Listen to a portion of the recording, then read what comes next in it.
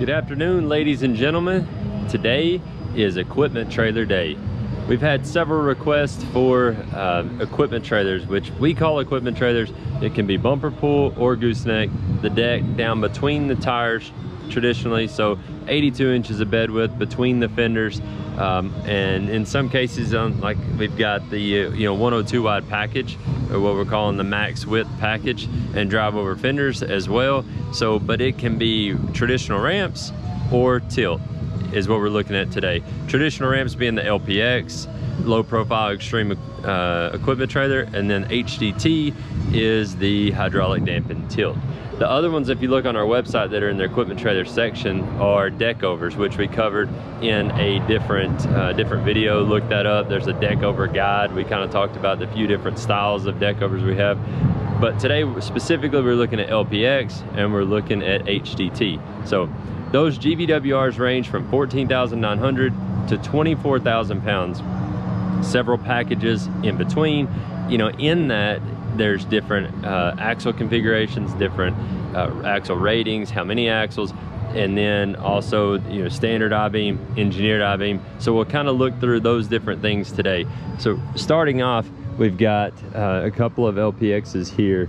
This is the basically a standard LPX, the HD lid, which has been so popular on LPX and HDT for quite a while, you know, that doubles as extended deck space or has a ton of storage space inside.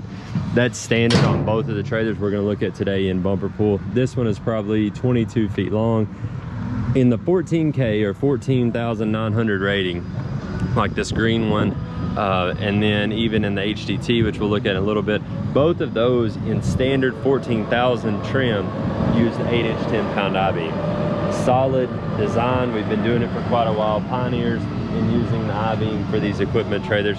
When you're talking the 14,000 rating, it doesn't doesn't so much justify the engineered beam just yet. The lighter, stronger, you know, comes into play when we start talking about bumping from 14,900 to 18,000 to 20,000 to 24,000. That's when you'll see the engineered beam come into play. So this is the standard 8 inch 10 pound I-beam on this one. 14 gauge tread plate fenders, like I said, 82 inches between the width. Now there are several different loading configurations for loading styles for the LPX.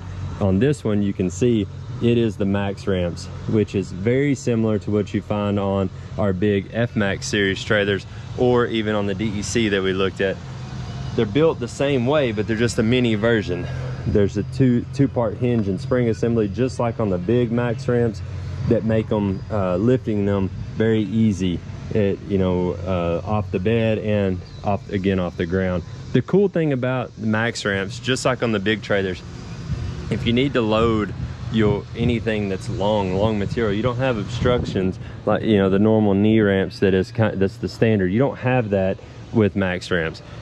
That you can lay them flat and you can use the full length as flat deck space if you're hauling long material lumber steel what have you but they do come with a bar to where you can stand the ramp up in the in the vertical position. So if you have say you load a tractor that has a little mower behind a uh, brush hog it can stay here no big deal. The ramp stands straight up and it can be pinned in place. So you've got max ramps as an option. Then looking at this one we'll go ahead and look at this one. It's got some other stuff we need to talk about but the standard ramp for an LPX, if you go on our website and you look at just the standard setup, it's gonna be a two foot dove with traction cleats like we see. And then it's gonna be this 24 inch wide, 60 inch long HD knee ramp.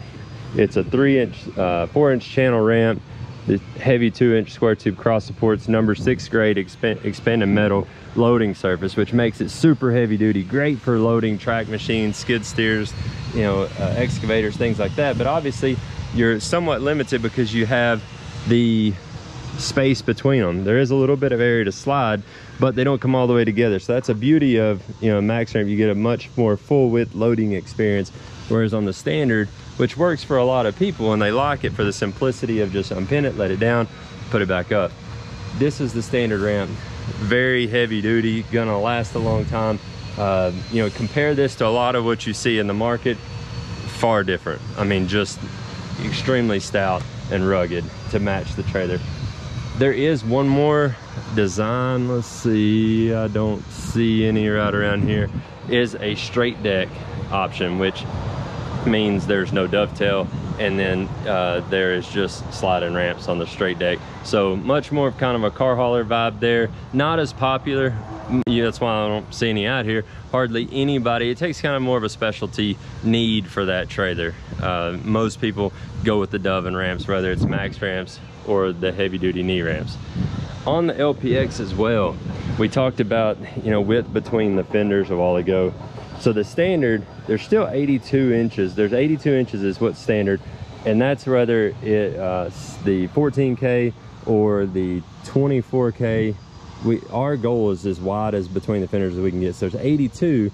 When you do drop axles, there's one package, the 18K package with drop axles that goes to like 80 inches. And it's because of the size of the hub and being drop axles. But on the LPX, you have the option for the max width, 102. And you can see it adds inches in front of the in front and behind the fender on each side. That's for guys who maybe they're using it most of the time hauling a skid steer or whatnot or equipment and then need the ability to side load material, maybe pallets and need the, you know extended decks deck width, but also it lets you say double over and haul you know a high you know high sitting truck or a buggy hauler is what a lot of people call them it gives you the ability like on this one it's got the 3 16 drive over fenders. It gives you the ability to actually drive up and over the fenders if need be if you've got a vehicle that's got a real wide you know stance to it. So that's a really popular option. On the website it's called frame extensions. We're about to change that to what's going to be called the max width package. But right now it's frame extensions and drive over fenders is what you would need to select to get the buggy hauler style. So that's one of the, you know, one of the very popular options to get that extra bed width. When we talk about the, um, like the heavier packages, a lot of these have, you know, it's kind of give and take. Some of them have the 14K package. It just depends on what, you know, what kind of job you're looking to do is how you decide on what kind of GVWR package you're, you're wanting. But I wanted to give you a look at this one. This is a really cool lime green. Looks very similar to what we looked at over there. The thing about this one is though, it is the engineered beam because it is a 18K GVWR. So it's a heavy duty package. You got the, the 215 17 5s heavy duty tires come with this. You know, it's a 16 ply tire, but if you notice, you can kind of see the contour of the frame and that means this is an engineered beam frame. This uses the same engineer beam technology that we have developed for the F-Max series is where we started. We've integrated it into equipment trailers like this LPX, into the HDT tilt, into the dump trailers, and it's doing the same thing. It's putting the metal where it needs to be to be the most effective, not just taking a standard old I-beam and hacking it up to try and make it do what we want to do. We start from the ground up, we design the I-beam, we're able to have control over the height of the I-beam, the thickness of the material, and every bit of the beam on that trailer and every style that we offered on is very intentional in how it's designed to perform a certain job for that weight, that length, for that classification of trailer. So next, we will move into the HDT. So the HDT is very similar uh, to the LPX in the way that it's constructed. Standard is 8 by 10 I-beam frame. Again, you get into the higher GVWRs and you go to engineered platform, engineered beam platform. This one, real pretty metallic gray. You look at the front and you're like, hey, that's very, very similar. Where it gets different is right here. This is actually a tilt bed instead of ramps. You know, tilts over the last few years have just exploded in popularity you know more and more it's kind of like hydraulic dovetails. It's like different things with pickups with remote tailgates and things like that. It just makes when you're doing a specific job hauling a machine like on this trailer it makes it super seamless and quick because it's there's no ramps to put up or down you know anything like that. Obviously it's like anything else. You pay a little more up front a tilt's generally going to cost more than a trailer with ramps that's equally uh, equipped as far as the axles and stuff. So it's a gravity tilt, You can get a power tilt as well to force it up and down. But like in this case, it's a gravity tilt. You unlock the bed, step on the back, and the tail right there just goes real smooth down to the ground, no matter if it's got just you on it or if it's got more weight on it. But then when you drive your machine up the bed, it slowly starts coming back down, in which there is a speed control valve on the side that helps helps with that as well. Like if you want to slow it down, just crack the valve. There's your handle for unlocking the bed so it'll tilt. This one, the only thing really extra on this one, it's got a couple extra D-rings on it. It's got the rubber on stake pocket option, which is nice for tie down. It's got, this one has torsion axles, 17.5 heavy duty wheels and tires. This is 7K axles, but we have a, a heavy duty tire package where you can get the, the 16 ply 215s. An option to look at when you're outfitting one, this one has 3 16ths super heavy duty fenders. Very similar to the one we looked at a while ago with the drive overs, but these are just meant, obviously there's not extensions on the show, so these are just meant to be heavy duty in a work environment. I mean, especially if you have crews running your stuff. I've seen fenders, I've grown up in the trailer business, I've seen fenders mangled, you know, from, from machines and from loading and stuff. It's a cheap investment, cheap insurance is what I like to call it because for a couple, few hundred bucks, a couple hundred bucks, those fenders are just crazy, crazy strong. I mean, for what they're, you know, for what the intent is, and that's protecting the tires, obviously, and then covering it. So they're, you know, it's inevitable. You work a trailer hard now, and, it, and you may touch the fenders with machine or whatnot if you have crews running it. And it's just protecting your investment to pay a little more, but to get a super strong fender. So those are available on LPXs, HDTs, dump trailers, it, anything that has a fender on it like that pretty well on our website has that 3 16 option. So it's something to look look for, you know, when you're doing when you're searching or building your trailer. The HDTs are the same in that they've got all of the different, you know, the upgrades on GVWRs. Let's see, there's a couple of more LPXs. Hmm. Looking for a I'm looking for an HDT bear with me. Looking for an HDT that has a frame upgrade. That way we can uh, yeah I can show you the engineer beam. It looks similar but just so you kind of know like here's a cement gray one.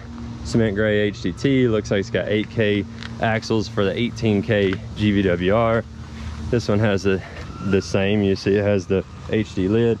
But again it's got the way you can tell it's got the contoured frame of over the suspension. So this is an engineer beam um, frame as well. On the tilts, they're preset with the stationary deck. This part does not move. This part is a tilt. So on a 20 footer, you're gonna have four foot of stationary, 16 foot tilt on a 22, 16 and six. It, the, your 16 foot on your tilt pretty much always stays the same.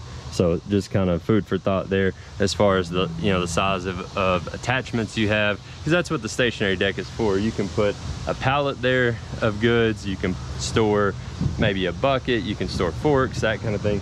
You can put right there on the stationary deck.